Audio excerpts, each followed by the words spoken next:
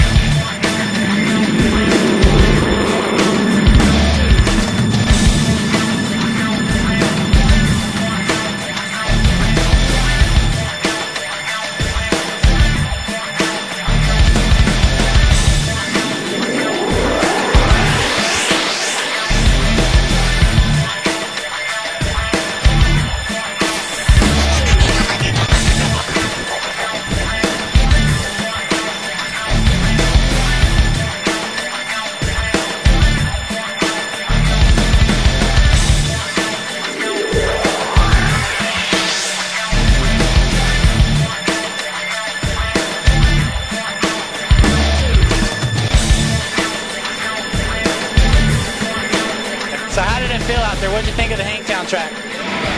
Uh, the track's always good. It's super rough. Um, I don't know. It's good for an amateur race because it really shows who's fit. Um, it's just not a speedway, so it's. I think it's really good for the young kids to come out and race a track like this because you know there's a national here and the track's pretty similar on race day. So um, yeah, it's good.